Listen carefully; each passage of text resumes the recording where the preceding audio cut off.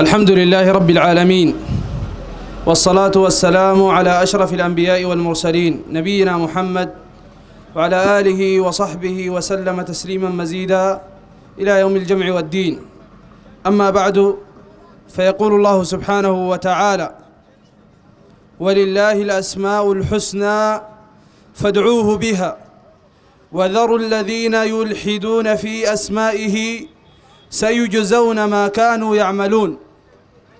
قال البغوي رحمة الله عليه في تفسيره وقوله ولله الأسماء الحسنى فادعوه بها قال مقاتل وذلك أن رجلا دعا الله في صلاته ودعا الرحمن فقال بعض مشركي مكة إن محمدا صلى الله عليه وسلم وأصحاب وأصحابه يدعون أنهم يعبدون ربا واحدا فما بال هذا يدعو اثنين.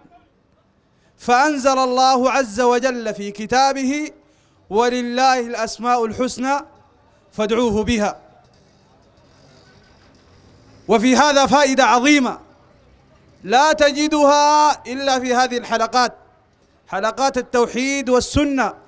الخالية من الحزبية ومن الجهوية ومن الجماعات ومن الطرق والطوائف.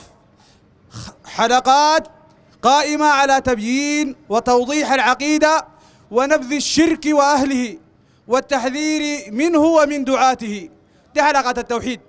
بتعلمك الدين. في قول مقاتل رحمة الله عليه في بيان سبب نزول هذه الآية أن رجلا من أصحاب النبي صلى الله عليه وسلم دعا الله في صلاته. في صلاته يعني في دعائه. والصلاة في اللغة بمعنى الدعاء. فقال يا الله وقال يا رحمن فقال بعض مشركي مكة إن محمد صلى الله عليه وسلم وأصحابه يدعون أنهم يعبدون ربا واحدا فما بال هذا يدعو اثنين. بيدعو منو منو الله والرحمن ديل اثنين ولا واحد؟ ديل واحد لكن المشرك بليد. المشرك من زمان بليد ليسي وحجيك الأدلة. فأنزل الله عز وجل ولله الأسماء الحسنى. أي أن لله أسماء عدة. ليس له اسما واحدا. ليس اسمه هو الله وحده. بل اسمه الله والرحمن والرحيم وغيرها من الأسماء. في هذا الكلام من هذا الإمام أن المشركين كانوا يعلمون ما هو التوحيد وما هو الشرك المشركين الذين قاتلهم النبي عليه الصلاة والسلام لما سمعوا هذا الصحابي يدعو في صلاته في دعائه ويقول يا الله ويا الرحمن قالوا محمد صلى الله عليه وسلم وأصحابه بيقولوا نحن بندعو رب واحد ده بيدعو اثنين والمشركين بيدعوا كم؟ بيدعوا كثير بيدعوا اللات والعزى ومنات الثالثة الأخرى كثير. فقال ده معناته ما بيعبد رب واحد لأنه دعا اثنين. معناته المشركين فاهمين معلومة إنه الدعاء عبادة. ودي فاهمينها المشركين. كويس؟ الليلة ناس حافظين قرآن ما فاهمينها. إنه الدعاء عبادة. وإنه الصحابي ده لما دعا الله ودعا الرحمن عبد الله وعبد الرحمن. والله والرحمن واحد. الرحمن اسم من أسماء الله عز وجل يدل على ذات الله سبحانه وتعالى وعلى أنه متصف بصفة الرحمة. فأنزل الله عز وجل ولله الأسماء الحسنى. الحسنى أي البالغة في الحسن غايته وكماله. أي أن لله أسماء حسنى جميلة بالغة غاية الجمال وغاية الحسن. اسماء الله عز وجل حسنى وعظيمة تدل على ذات الله وتدل على صفات الله. وذروا الذين يلحدون في أسمائه قال أهل العلم يلحدون في أسمائه قال ابن السكيت قال الإلحاد هو العدول عن الحق وصرفه عن عما ليس فيه يعني تصرف الكلام الحق إلى الباطل. تميل بالحق لأنه اللحد سمي اللحد لحدا لأنه مائل عن وسط القبر يعني بيعملوه بجنبه كده مائل. فالإلحاد هو الميل. والزول الملحد في الدين هو الذي مال عن الصراط المستقيم مال عن الدين القويم. ده الملحد. كويس؟ فذروا الذين يلحدون في أسمائه. المشركين كان بيلحدوا في أسماء الله عز وجل. يشتقون لله لآلهتهم أسماء ويسموا بها آلهتهم من أسماء الله عز وجل. يشتقون اللات من الله. اللات من الله. والعزى من العزيز. ومنات من المنان. فأنزل الله عز وجل وذروا الذين يلحدون في أسمائه. وقال أهل العلم الإلحاد في أسماء الله كذلك تسمية الله عز وجل بما لم يسم به نفسه. ولم ولم يسمي به رسوله صلى الله عليه وسلم. فإن الله عز وجل يسمى جوادا ولا يسمى سخيا. وإن كان السخي في معنى الجواد. لأن النص جاء بشنو؟ بالجواد. إن الله جواد كريم. دي قال منو؟ قال النبي عليه الصلاة والسلام. فدل هذا الحديث على أن الله عز وجل من أسمائه الجواد ومن أسمائه الكريم. لكن ما بنقول الله سخي من أسمائه السخي. الله جواد ومتصف بالجود لكن نسميه باسم لم يسمى به لم يسمي به نفسه فهذا من الإلحاد في أسماء الله عز وجل. وكذلك من الإلحاد في أسماء الله عز وجل صرفها عن ما أراد الله بها. يعني الله عز وجل قال بسم الله الرحمن الرحيم. الله اسم والرحمن اسم والرحيم اسم. هذه الأسماء ليست أسماء فارغة من المعاني. فيها معاني ولا كيف؟ مع أسماء المخلوق عندها معاني. كيف بأسماء الخالق؟ الله اسمه الله. الله معناته ذو الألوهية والعبودية على خلقه. يعني هو الذي يستحق الألوهية يستحق الخضوع والذل ويستحق الركوع والسجود وغير ذلك من العبادات. الله هو المستحق لا غيره سبحانه وتعالى. الرحمن معناته المتصف بالرحمة. الرحيم المتصف بالرحمة والرحمن المتصف بالرحمة الواسعة التامة التي شملت كل مخلوق. أما الرحيم فرحمة خاصة بالمؤمنين وكان بالمؤمنين رحيما يهديهم ويوفقهم ويدخلهم الجنات. هذه الرحمة الخاصة لا ينالها الكافرون وإنما هي للمؤمنين خاصة. فإسم الرحمن فوق معنى. إنه الله شنو؟ متصف بالرحمة ومتصف بالرأفة وبالرفق. سبحانه وتعالى. ده اسم شنو؟ الرحمن. اسم الأعلى واسم العلي واسم المتعال. هذه أسماء لله عز وجل. ثابتة في الكتاب والسنة. تدل على أن الله متصف بالعلو في ذاته وفي في قدره وفي مكانته سبحانه وتعالى. فالله عز وجل بذاته عال فوق جميع مخلوقاته. ليس بداخل في شيء من مخلوقاته. لا تحويه لا يحويه مخلوق من المخلوقات بل هو فوق فوق السماء السابعة فوق العرش. سبحانه وتعالى دل دل على ذلك قول الله عز وجل سبح اسم ربك الأعلى. الأعلى يعني شنو؟ يعني الفوق. كويس؟ وهو العلي العظيم أي هو الذي علا وارتفع مكانة وقهرا وذاتا. ده الله سبحانه وتعالى. الصوفية والأشاعرة من أهل البدع والضلال يصرفون أسماء أسماء الله عز وجل عن مرادها. فإذا قلت أن الله عز وجل هو الرحمن يقول لك ما متصف بالرحمة وإذا قلت أن الله عز وجل هو هو العلي والأعلى يقول لك ما متصف بالعلو. ينكرون علو الله عز وجل على خلقه وعلى عرشه سبحانه وتعالى ينكرون ذلك. ليه؟ لأنهم ألحدوا في أسماء الله. والله قال لك شنو؟ قال لك وذر الذين يلحدون في أسمائه. الناس اللي بيلحدوا في أسماء الله عز وجل تراهم زي الصوفية دي كمان سموا سموا الله بأسماء لم يسميها لم يسمي بها نفسه سبحانه وتعالى. في كتاب يستنبئونك لحسن الفاتح غريب الله. ده مدير جامعة أم درمان الإسلامية سابقا. الله ريح منه العباد. مات. هلك. أراحنا الله عز وجل منه. ده من مشايخ الطريقة السمانية. كتاب اسمه يستنبئونك. أمشي اشتريه من مكتبة الدار السودانية للكتب.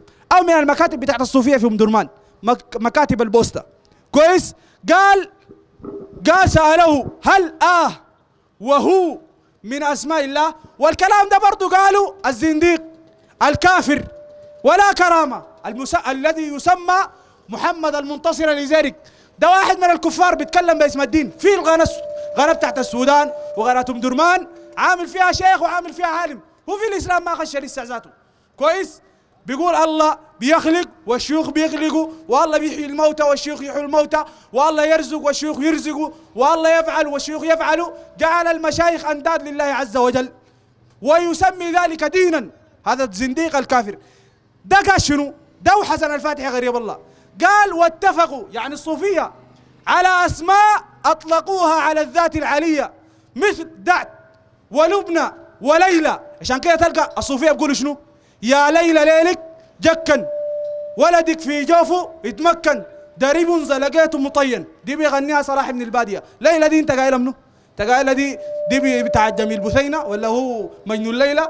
لا لا لا ليلى دي قصدين بها الله عرفتها؟ ليلى عند الصوفية الله والعياذ بالله سبحانه وتعالى وبقولوا لك من أسماء الله هو ومن أسماء الله آه والكتاب والكلام ده قالوا محمد المنتصر الجزيري في قناة في قناة من القنوات؟ السودانية. موجود مسجل منشور في اليوتيوب. كويس؟ ده قال الله من أسمائه آه ومن أسمائه هو ومن أسمائه هي. يعني لو دار تنادي وتقول يا الله تقول يا آه السيدة معقول يكون دين؟ السيدة مغني ولا ولا ولا بيدعو ده؟ يا آه ويا هي ويا هو. كويس؟ عشان كده بتلقى الصوفية من الأذكار بتاعتهم يا هو يا هو يا هو يا هو ده إلحاد في أسماء الله عز وجل. والله قال لك شنو؟ وذر الذين يلحدون في أسمائه سيجزون ما كانوا يعملون. ده الله بحاسبهم يوم القيامة. الذين يلحدون في أسماء الله. طيب فائدة أخيرة. عشان ما نطول الله قال لك ولله الأسماء الحسنى. الله عنده أسماء حسنى. قال لك ادعوني بها. وسبب نزول الآية خليها بس. محمد نورين ما هسه. آي وسبب نزول الآية زي ما قلنا انه واحد من الصحابة سأل الله يا الله ويا رحمن أفعل لي وأفعل لي. المشركين قالوا محمد صلى الله عليه وسلم وأصحابه قالوا هم بيعبدوا رب واحد. وصاحب النبي عليه الصلاة والسلام ده طيب بيدعوا اثنين لشنو؟ كويس؟ المعلومة اللي تستفيد من الكلام ده؟ إنه الزول اللي بيدعوا اثنين ده ما بيعبد واحد. اللي بيدعو اثنين ما بيعبد واحد. اللي بيدعو الله ويدعو الكباشي. بيعبد واحد؟ ده عند المشركين ما بيعبد واحد. لكن عند المسلمين المدعين للإسلام هنا في السودان وفي غير السودان من أصحاب الطرق وأئمة الضلال من أئمة. الطرق الصوفية يزعمون أن الذي يدعو الله. ويدعو الكباشي ويدعو المكاشفي يدعو واحدا ويعبد واحدا. ده عند الصوفية. لكن المشرك المشرك الكافر بيقول اللي بيدعو الله وبيدعو الرحمن بيدعو اثنين. وهي معلومته غلط لأنه الله والرحمن واحد. الله اسم والرحمن اسم والله والرحمن يدلان على ذات واحدة ورب واحدة. الله هو الرحمن والرحمن هو الله. الله الرحمن الرحيم الملك القدوس السلام المؤمن المهيمن العزيز الجبار المتكبر كلها أسماء لله عز وجل. كلها تدل على الله. فمن سأل وقال يا رحمن ارحمني ده سأل منه سأل الله. المشرك فيه منه السأل الرحمن ده ما سأل الله لأنه بليد. الليلة البليد اللي عندنا ده بيقول السأل المكاشفي ما عبد غير الله. المشرك فاهم إنه بيعبد غير الله. زول اللي بيسأل اثنين بيسأل اثنين ده عند المشركين. القاتلهم النبي عليه الصلاة والسلام بيعبد اثنين. الليلة عند الناس المدعين للإسلام الناس اللي بيقولوا لا إله إلا الله بيدعوا مية بيدعوا مية. يقول لك يا تسعة وتسعين ألف القلعة راقدين. تسعة وتسعين واحد. يا أخي الله ما بكفي؟ يا أخي ده ما سؤال. الله ما بكفي. أليس الله بكاف عبده؟ الله ده لو سألته ماله. بخيل والعياذ بالله. فقير. والعياذ بالله. ماله الله سبحانه وتعالى. ما بيقدر ما بيقدر يجيبك ما بيسمع ما بيعلم حالك. ليه تخليه وتنادي الميتين. مع إنهم هم فقراء وبخلاء ومساكين وضعفاء وما عندهم حاجة. لا يسمعون ولا يعلمون ولا يقدرون. والله هو السميع العليم. قال الله سبحانه وتعالى ما المسيح ابن مريم إلا رسول قد خلت من قبله الرسل وأمه صديقة كانا يأكلان الطعام. انظر كيف نبين لهم الآيات. ثم انظر أنا يؤفكون. قل أتعبدون من دون الله ما لا يملك لكم نفعا ولا ضرا. والله هو السميع العليم. أنتوا تخلوا الله سبحانه وتعالى وتنادوا المسيح. تخلوا الله وتنادوا المرعي. والله عز وجل هو السميع لأقوالكم العليم بأحوالكم القادر على إجابة سؤالكم. ده عاقل يعملوا؟ ده عاقل يعملوا وبعد ده كله يقول لك نحن عارفين الله خالق. إنت عارف الله خالق وعارف الله رازق وعارف الله اللي بيدبر الأمر براه سائل غيره ليه؟ ما بدبره ولا بدبره لو قلت بيدبره تبقى كافر. على حسب مذهب محمد المنتصر الجزيري لأنه قال لو إنت قلت يا الله وقلت يا المكاشفي بتعتقد إنه المكاشفي ما بيتصرف في الكون وما بينفع وما بضر؟ طيب سهل ما لك ده ذاته سؤال. قال لو بتعتقد إنه ما بينفع وما بضر لكن سالته من باب وابتغوا إليه الوسيلة وابتغوا إليه الوسيلة دي الفسره زيك كده منه الفسره زيك منه أقرأ كل كتب التفسير. كل الكتب المعتمده ابن كثير ابن جرير ابن البغوي الطبري ابن أبي حاتم القرطبي كل التفاسير. شوف واحد من العلماء قال وابتغوا إليه الوسيلة هذا لك زول ميت مع الله. جيب لنا واحد بس عشان نساله معك. ما في ما في عالم قال تسال لك ميت حاجة من الحوائج. ما في إلا محمد المنتصر. هذا الدجال الكافر الزنديق الملحد ولا كرامة. ده قال لو قلت الشيخ بيتصرف في الكون وبينفع و و و وبي وسألته من من الباب ده قال تكون مشرك. قال لو قلت لكن هو واسطة بيننا وبين الله ده ما مشرك. كويس؟ ودي نفس عقيدة المشركين. كويس كويس. دي نفس عقيدة المشركين. كونه تسال غير الله وتعتقد إنه ما بينفع ولا بضر ولا بيرزق ولا بدبر الأمر المشركين كان بيعملوا كده. الله قال قل من يرزقكم من السماء والأرض اما يملك السمع والأبصار ومن يخرج الحي من الميت ويخرج الميت من الحي ومن يدبر الأمر فسيقولون الله. فقل أفلا تتقون؟ فذلكم الله ربكم الحق. فماذا بعد الحق؟ إلا الضلال. فأنا توفكون. إنتوا ناس ما عاقلين الناس اللي بيقولوا الله خالق والله بدبر الأمر. والله بينفع والله بيرزق والله بيكشف الضر. لكن الشيوخ دول بينزلوا مع الله. تسألهم ليه ما دام الحاجة كلها عند الله؟ ما دام انت أصلا قلت الأمور كلها عند الله كلها فوق. جاي تحت مالك عندك تحت شنو؟ ما تطلع فوق طوالي. أرفع يدينك دي فوق. عشان كده الله قال وقال ربكم ادعوني أستجب لكم. إن الذين يستكبرون عن عبادتي سيدخلون جهنم داخرين. وإذا سألك عبادي عني فإني قريب أجيب دعوة الداعي إذا دعان. فليستجيبوا لي وليؤمنوا بي لعلهم يرشدون. وقال الله سبحانه وتعالى ولله الأسماء الحسنى فادعوه بها وذروا الذين يلحدون في أسمائه سيجزون ما كانوا يعملون. والله أعلم وصلى الله وسلم على نبينا محمد وقدم أخونا محي الدين. وصية القحطاني بالله قولوا كل ما أنشدتم رحم الإله صداك يا قحطان.